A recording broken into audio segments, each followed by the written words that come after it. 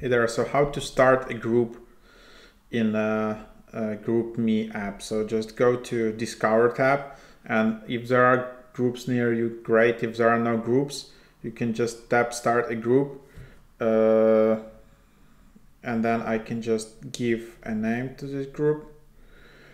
I can set avatar and then I can just uh, add members. Mm, so I can just find uh, nearby users which are using GroupMe app. Uh, like this app is mostly uh, popular in United States, and so right now it's just uh, not.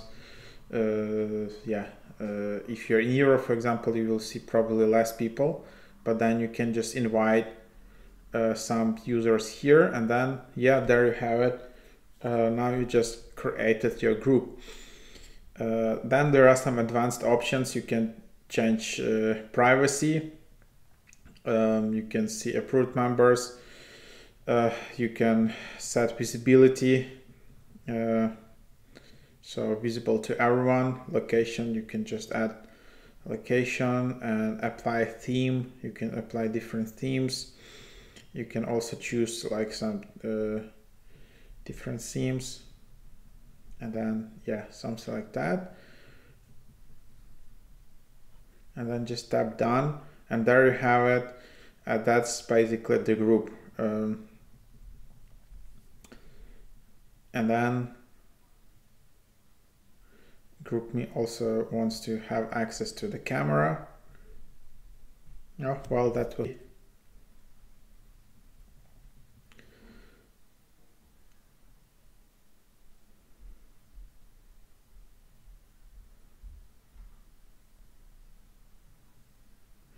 so yeah that's basically the idea. And then uh, you can see um, uh, people you can go settings.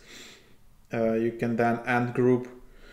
Uh, you can just delete it uh, edit group clone it. So it's pretty advanced you know like for for managing all of that. It kind of the interface kind of reminds a bit of skype if you remember what that was. It's like a video calling app.